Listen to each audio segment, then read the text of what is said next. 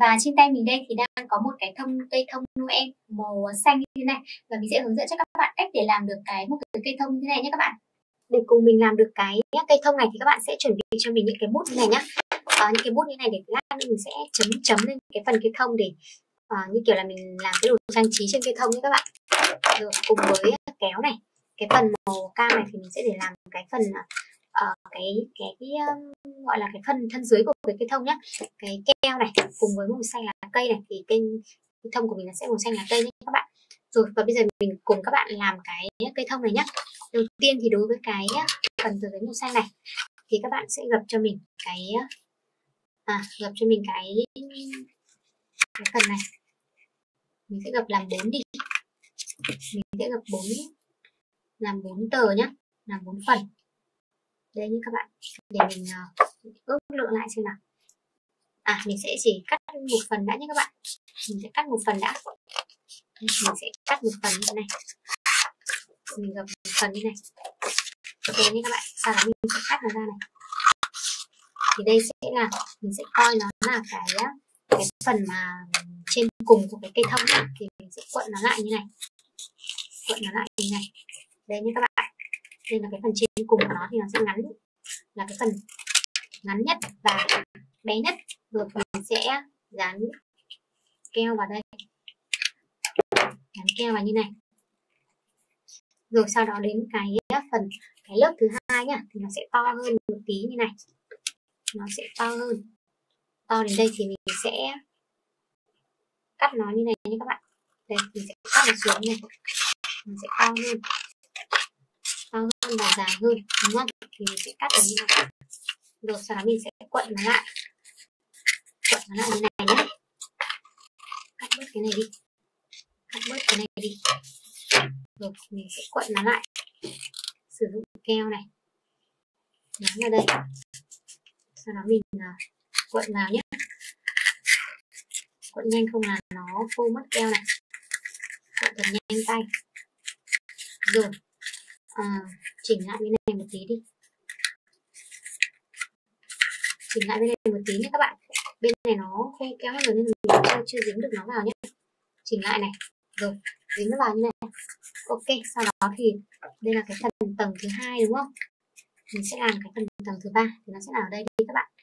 Đây nó sẽ là cái phần đây là cái phần này nhé. Nó to hơn cái phần thứ hai này rồi. Thì mình sẽ cắt bớt cái này đi.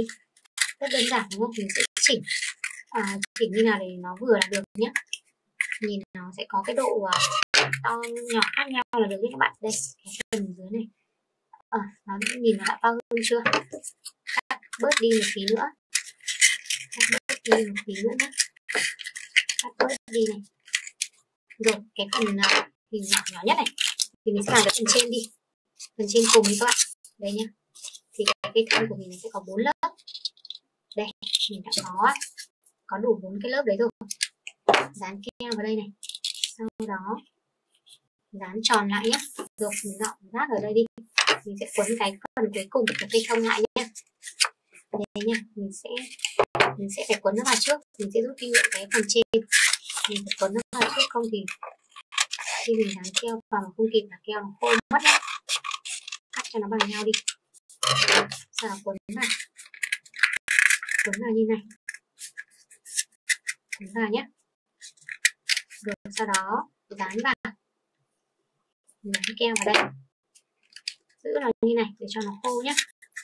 Rồi sau đó thì mình sẽ uh, dán chúng lại với nhau bằng cách là mình sẽ xếp nó như này.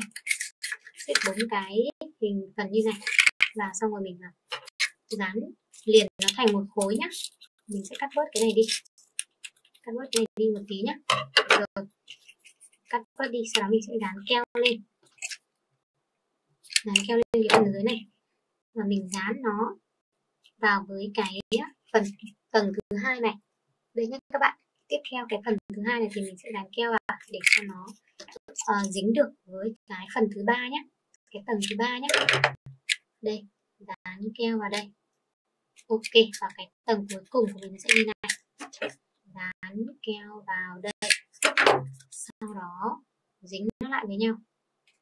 Đây, đây là cái phần trên cái tầng của cây thông của mình nhé tiếp theo là cái phần uh, thân của nó ở dưới. Cái chân của nó thì mình sẽ cũng quận cái phần màu cam lại như này.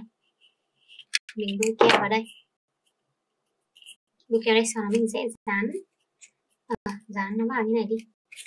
Dán nó à, thẳng đứng như này nhé hoặc là các bạn dán ngang này đi. Dán ngang thì cái phần tiết diện của nó thì nó sẽ dễ dán hơn là cái khi mình dán nó đứng nhỉ? đây như vậy là mình đã có một cái cây sông này. Sau đó thì mình sẽ sử dụng những cây bút bút màu nhé mình sẽ vẽ những cái chấm tròn lên đây. Để coi như đây là cái phần à, phần những cái đồ trang trí ở trên cây thông các bạn. Đây này vẽ những cái chấm tròn ở bên đây như này. Mình sẽ tô màu đỏ này màu, màu xanh này màu cam này màu hồng này đây là màu đỏ nhé. Tiếp theo thì mình sẽ tô màu vàng lên nhé các bạn. Màu này là màu vàng chanh này. Không biết là tô lên đây thì nó nhìn nó có rõ không? Đây. Tại vì cái màu vàng chanh này nó lại còn uh, khá là trùng với cái màu xanh nhá. Nhưng mà mình thấy là nó vẫn vẫn nổi một chút nha rồi tiếp theo là phần màu xanh dương này. Xanh dương mình lên đây là cũng không được ờ, nổi lắm nhỉ đây nhé, xanh dương. Xanh dương ở đây. Tiếp theo là màu hồng đi. Màu hồng đi các bạn. Hồng này. Hồng này. Hồng ở đây. Và cuối cùng thì mình sẽ tô màu cam nhé. Màu cam ở đây. Cam ở đây. Cam ở trên này. Cam ở góc này. Cam ở dưới này và cam ở trên đầu này nhé. Được như vậy mình đã hướng dẫn xong các bạn cách làm được một cái thay cây thông hình tròn như này.